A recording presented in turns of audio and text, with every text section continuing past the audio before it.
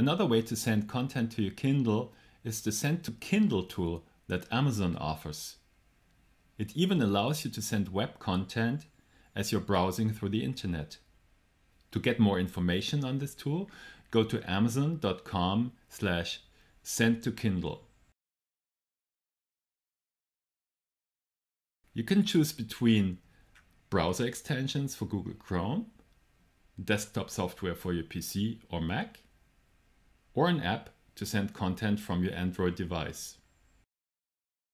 It is really intuitive to use. For example, if you install the tool on your PC, you have three ways of sending files. Open the Windows Explorer, choose the document you want to send, then right-click to open the context menu. Here you can choose the Send to Kindle option. Then the dialog of the tool will open.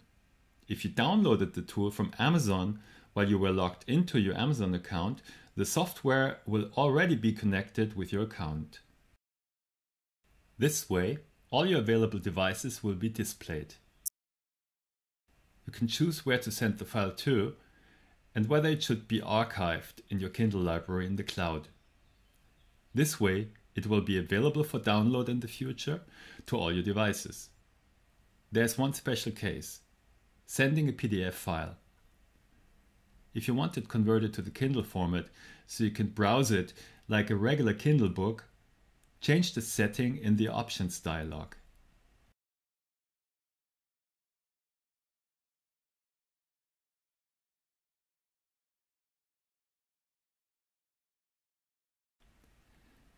The second way to send a file is from your printer dialog. Let's say you're working in Microsoft Word and want to send that document to your Kindle. Just open your print dialog and you will see the Send to Kindle plugin show up as a regular printer. Print to e-paper, so to speak. The third way is opening the application on your computer and sending the document via drag and drop into the drop space of the application. Really handy. Wondering about sending from an iOS device? Amazon doesn't offer an extra Send to Kindle app for iOS, but that's no hindrance. If you download the iOS Kindle Reading app, you will automatically have the feature installed on your device. You can use the iOS Share function and choose the Kindle logo.